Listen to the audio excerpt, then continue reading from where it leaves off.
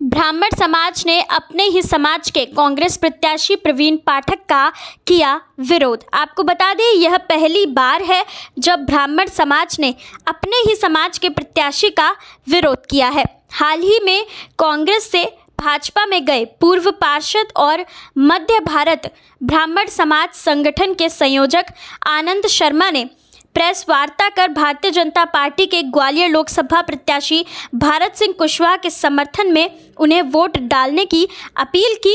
आपको बता दें कि कांग्रेस ने ग्वालियर लोकसभा सीट से ब्राह्मण समाज से आने वाले पूर्व विधायक प्रवीण पाठक को टिकट दिया है। वहीं भाजपा ने भारत सिंह कुशवाहा को मैदान में उतारा है।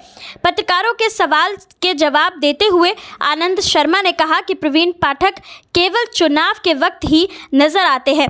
ऐसे लोगों का अपना समर्थन, लोकतंत्र का अपमान है। देखिए, मैं ब्राह्मण समाज का जन्मजात हूँ, व्यक्ति, लेकिन उसके साथ में भारतीय जनता पार्टी का मैं आज की डेट में कार्यकर्ता भी तो मेरा नैतिक धर्म भी बनता है। मेरा नैतिक धर्म बनता है कि मैं अपने साथियों से अपने, मेरी बात मानने वाले मैं अपने शुभचिंतकों से ये निवेदन करूँ